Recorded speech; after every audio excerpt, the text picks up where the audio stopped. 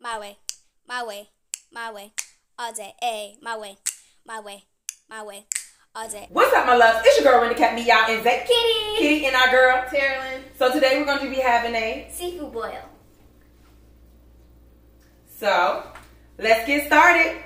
Okay, guys, first things first, we're going to go ahead and start adding everything into our water so we can boil our potatoes and get the spices and the seasonings um, mixing in good. So we're going to add um, celery, uh, cucumbers, also the lemons, our oranges, our chicken broth, some butter, gar- mixed garlic. And I'll name all these things as I'm adding them, but I'm just naming a few things so you can go ahead and start gathering them. So first thing I'm going to do is pour some chicken broth. It don't matter as long as it's still got the sodium in it. And I'm going to pour half of this in there. This gives it flavor. Okay, so half of 32 ounces. Then I'm going to add minced garlic. You can add garlic cloves in if you want to, but I'm just going to add some of the minced ones already. Probably like three to four tablespoons. Okay. Go ahead and or, um, add my butter.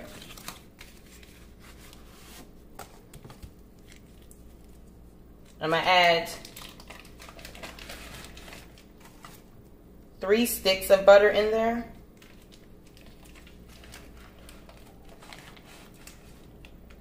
And I've turned my water on high so that it can start boiling faster, but I've turned it down to six. So I have enough time everything can start to boil together. Okay. Zakia, can you get rid of that for me, please? Okay, I got some Magic seasoning blend, seafood magic. We're gonna add two to three tablespoons.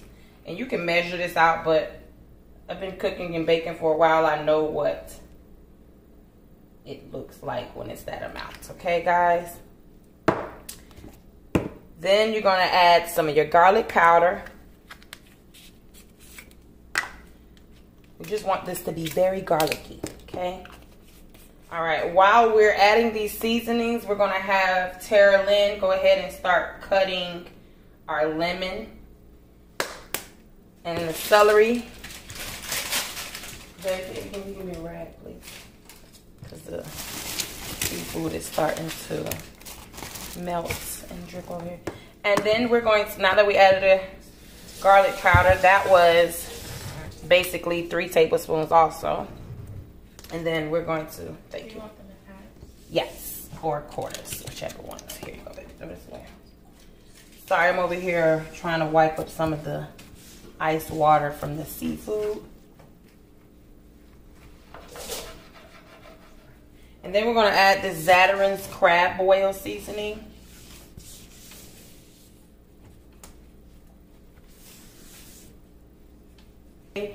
And we're going to add, don't know if you ever heard of Everglades, okay? My bae got me on this. So this gives it that extra flavor. So this is going to be four tablespoons.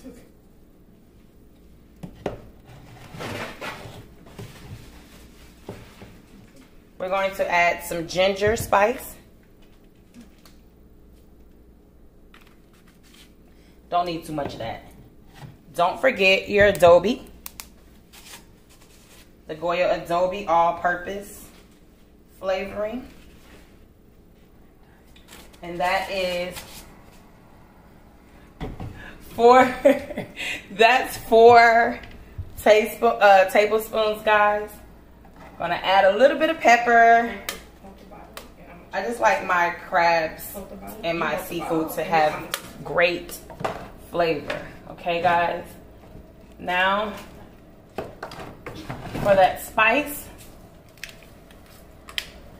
crushed red peppers. And this is going to be four, well, three and a half to four tablespoons, guys. Because We want it garlicky, but we want it spicy. We're going to add the crab oil, but we're having a little difficulty, guys. Give me a second while I open this. Okay, now we're going to go ahead and add the Zatarain's, if I can get it off. And while Terrlyn is cutting those fruits,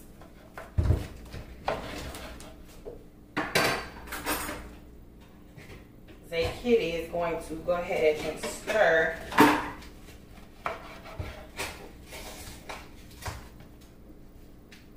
the pot.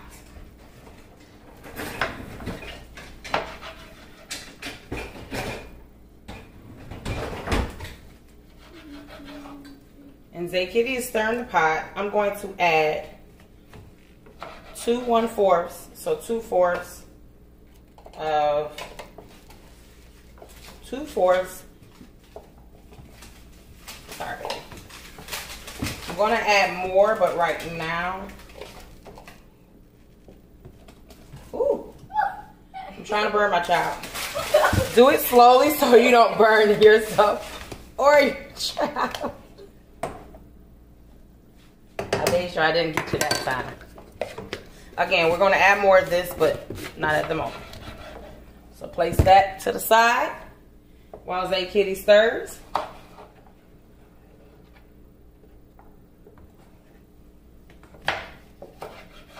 And Terrlyn has cut up every uh, some of the lemons. Okay, you keep three of those for the for flavor. When we get them, not even oranges. We're gonna add the lemons. You want these in house or, or you want the long way, Julian? Oh, sorry, like like how you do a lemonade. Oh, okay, gotcha. And we're going to put two whole lemons in. There we go. And I'm going to squeeze a couple of them as I go. There we go. All right, Zay Kitty.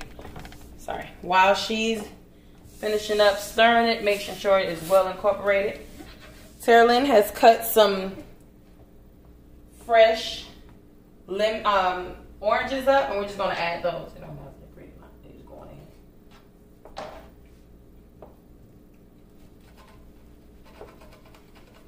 So we've added lemon and oranges for that a little bit of sweet flavor, but also, you know, a little tang. Now, for my secret, we get hot and spicy boiled peanuts, and we're going to put this in later, but we're going to use the juice for now. So pop this up. Push it down so the peanuts don't go in. And add add the juice from out of the boiled peanuts. Okay, guys? How's it smelling, Layla?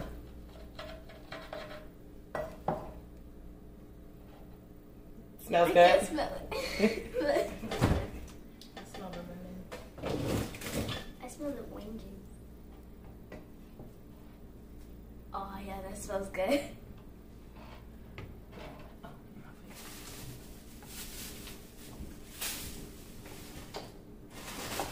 It smells nice and like smooth.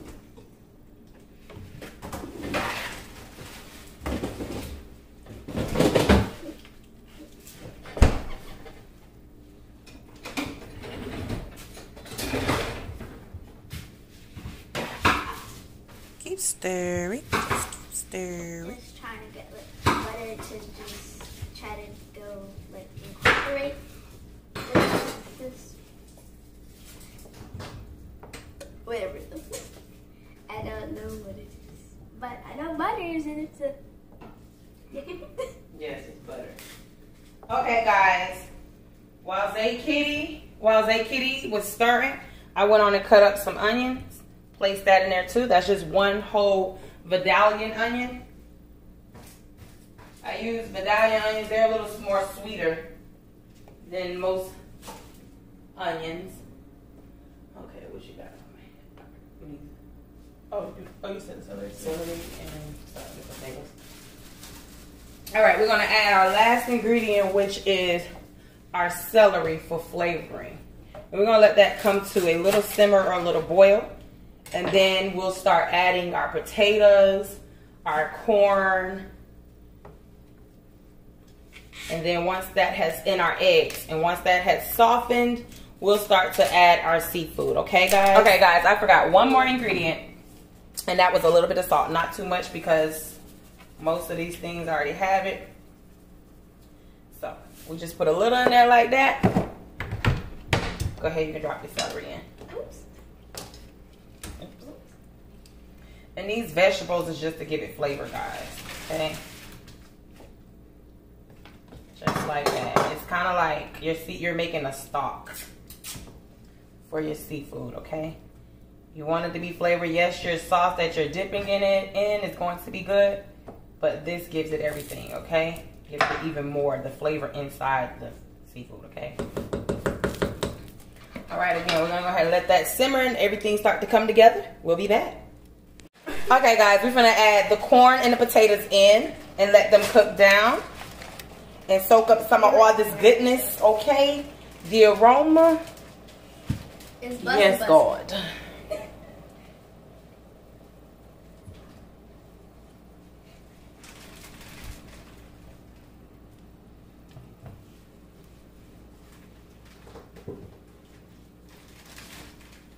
So just go ahead and add your veggies in.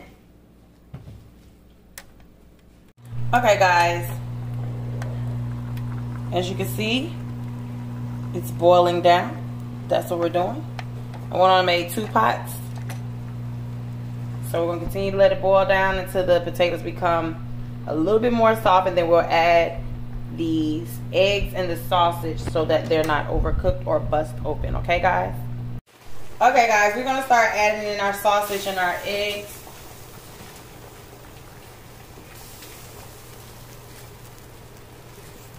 Okay, guys, we've let everything cook down as you can see. Corn, sausage, potato. We're about to take that out. But before we take it out, I'm going to add those boiled peanuts I was telling you about. Even though they're cooked, we all know they're still a little hard. So we're just gonna add them and then start adding the seafood, okay guys? All right. Again, peanut patch.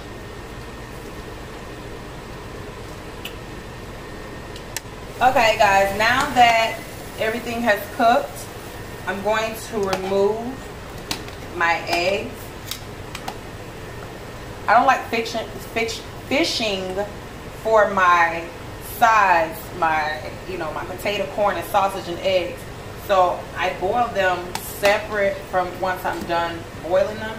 I remove them and then I put my seafood in because, and I'm just moving my eggs and stuff over into the other pot I had going.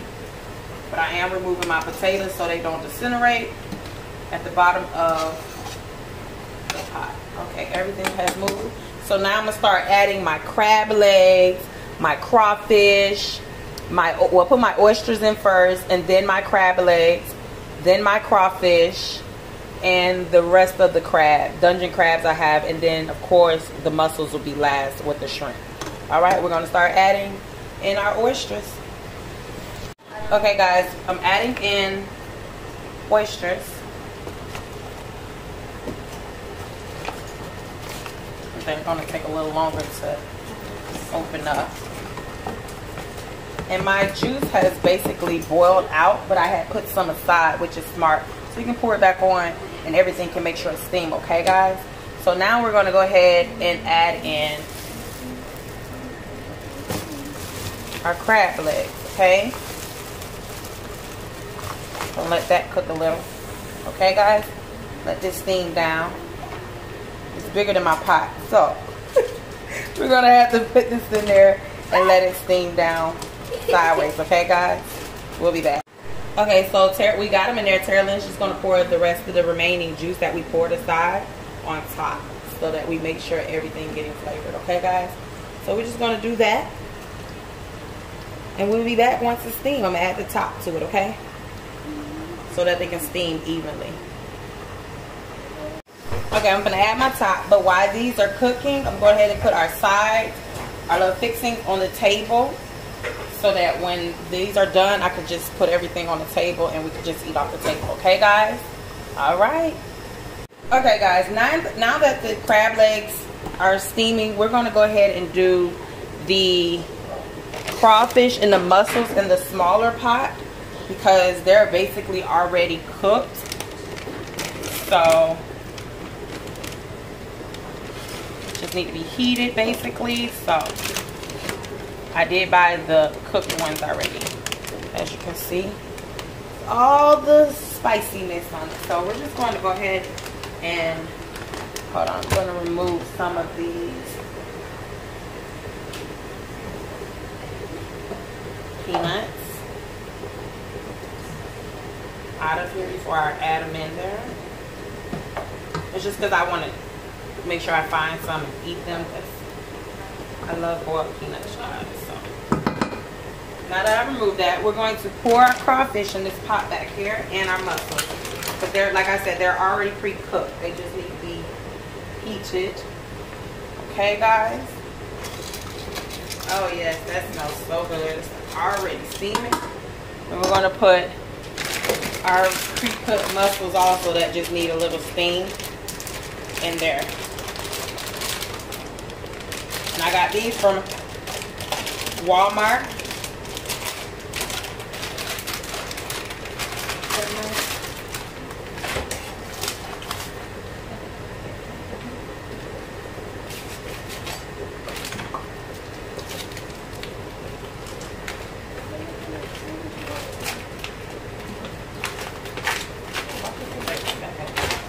Just like that. Open them up, pour them in, and let them steam. I'm gonna open up the second pack.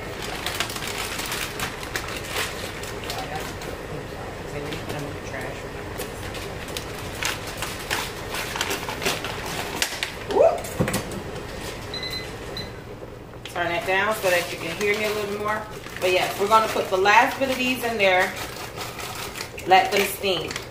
Once they're done steaming, we're gonna go ahead and add in our shrimps, okay guys? All right, I'm gonna put the top on this and let this steam also, all right? All right, be back. Okay guys, I'm removing the big ones. And then we're gonna add the dungeon uh, crabs. And we're gonna let them oysters cook a little bit longer. Once we add the other ones, we'll take all of it out. Okay guys, right. we're gonna go ahead and steam these last uh, bit of shrimp. We're gonna do the shrimp. Because you know shrimp don't take too long unless they're going to become gummy and rubber, rubbery. We're going to put the shrimp and the lobster in for probably five to ten minutes. Not too long, guys. But do it as you please. My water is super duper hot. So, like I said, you don't want these things to overly cook. And it don't, maybe not five to ten, but maybe like 10 to 12 at the most. Okay, just watch them. When they start turning completely red, they're done, okay? We don't need no gray looking oysters. But we'll time it. We'll know. I'll give you the correct time of how long I steamed it. And then once you get all your shrimp in there, you're going to take your lobster. Now what I did was I took a pair of scissors and I cut the back of the lobster so when it steams out, it comes right out there. You can get it like I said, they're there. Not in the sink, baby. So we're going to go ahead and let these steam. But I'll show you how to cut this back with a pair of scissors. Okay, guys. So what I did was take these scissors. These are clean scissors. As you can see the water dripping off. I took it and I just stuck it up underneath there. And then I cut down the back just like this. So when it steams out, it's right there. You can get to it faster. All right, guys. So we're just going to go ahead and steam this for a little bit, okay? All right, guys. We're basically done with our crawfish and mussels. Sorry, it's a little hot. So we're just gonna go ahead and put them on the table. See how that came out? Like I said, they were already pre-cooked. So I just kind of steamed them. They had seasoning on and everything, okay? So we're gonna go ahead and add that to the table while our lobster and shrimp continue to cook. Okay, guys, guys, these lobsters have been cooking for literally 10 minutes. There you go. Shrimp have too. See them right there? And they're starting to curl up and you don't want to overcook them, okay guys? All right, we're gonna take this out and we're gonna show you our finished product. Now this is how you do a seafood boil. Tell them what they need to know. Don't forget to like and subscribe and comment down your favorite part. See you next time. See you next time. Don't forget to try it at home.